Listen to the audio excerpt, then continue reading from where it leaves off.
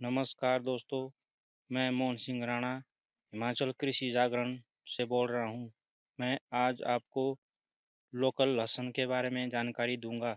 तो सबसे पहले मैं आपको हिमाचल का जो लोकल लहसुन है, इसके लिए इसके लगाने का तरीका बताता हूँ। सबसे पहले तो आपने मैल वगैरह जो हमारा ऑर्गेनिक मैटर है, उसको खेत में डाल देना है और उसके बाद गहरी जुताई करके एक दो बार आपको मिट्टी पलटनी है और जो भी हमारा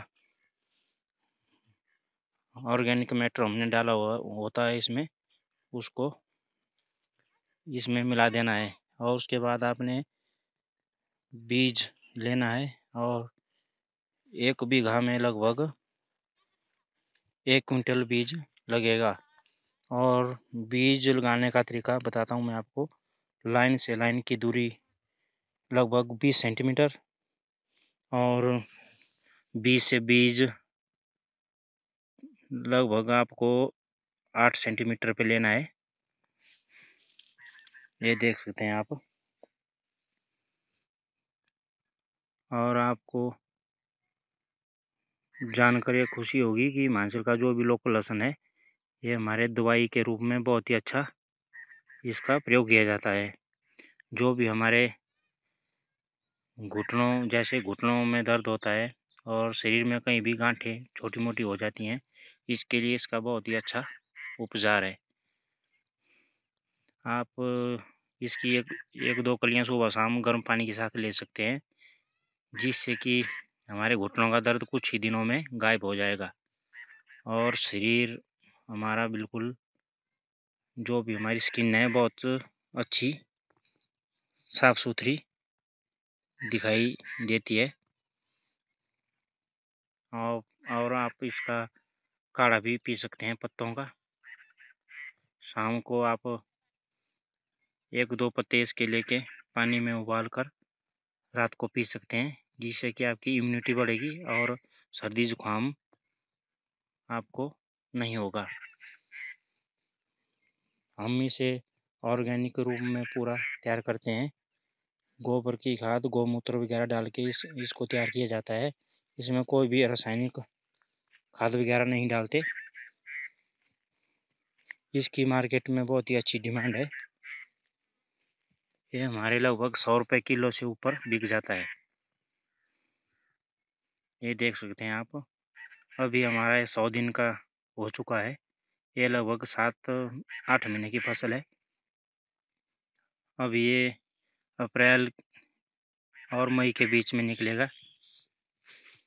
अगर आप इसका बीज मंगवाना चाहते हैं तो हमसे संपर्क कर सकते हैं। ये हमारा लोकल लहसन है। इसका बीज हमने खुद ही तैयार किया होता है। इसकी बहुत ही मेडिसिन के रूप में पहचान है। इसकी हाइट इतनी बड़ी नहीं होती। ज़्यादा बड़ा इसके कंद नहीं होते हैं। इसलिए इसकी बहुत ही अच्छी मेडिसिन वैल्यू है। जब हम, हमारे सदियों की बारिश हो जाती है, उसके बाद हम इस, इसके अंदर निराई गुड़ाई करते हैं और खरपतवार निकालने का कार्य करते हैं। एक बार हमने इसमें निकालने से पहले निराई गुड़ाई करनी है और लगभग तीन चार बार इसकी सिंचाई करते हैं। सिंचाई करने के लिए इस, इसको ज़्यादा ज़रूरत नहीं है। इसको एक दो बार से सर्दी की अगर पड़ जाए तो बहुत ही अच्छी मानी जाती है। ये हमने लगभग एक बीघा में बीजा है। हमारे पहाड़ों में यहाँ पे खेत छोटे छोटे होते हैं इसलिए तीन चार खेत हमने इसके लगाए हैं। ये बीच में हमने पलम का बगीचा लगाया है। जो मेरी पोजा वरायटी है, ये भी मई, जून में तैयार हो जाता है। ये देख सकते हैं आप, हमारा हिमाचल का लोकल लहसुन जिसका कि दिल्ली में बहुत ही अच्छा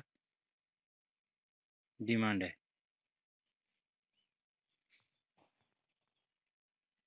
तो किसान भाइयों, मैं आपसे विदा लेना चाहता हूँ। अगर आपका कोई भी इंक्वायरी हो तो आप हमसे संपर्क कर सकते हैं।